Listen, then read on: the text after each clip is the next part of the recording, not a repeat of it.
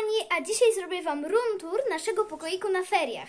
Okej, czyli tutaj się wchodzi i tutaj mam taką ogromną szafę z lusterkiem. Tutaj jest nasze łóżko z Agatką. y, Tutaj jest tata. Tutaj jest mama na takim bardzo fajnym krześle. Chciałam mieć taki w pokoju, podoba mi się. Tutaj stolik, lodówka i... y, i tam y, czajnik. Tutaj jest duże okno i takie ładne zasłony. Chciałam też takie mieć w pokoju. Tutaj jest y, biurko. Y, tutaj jest moja półeczka, na której jest troszkę brudno, ale to nic. Tutaj jest łóżeczko, które jest ogromne i zawsze Agatka na nim siedzi. Y, tutaj mamy Agatki półeczkę. Dobra, i teraz przejdźmy do łazienki. Dobra, i wchodzimy do łazienki. Oj, przepraszam.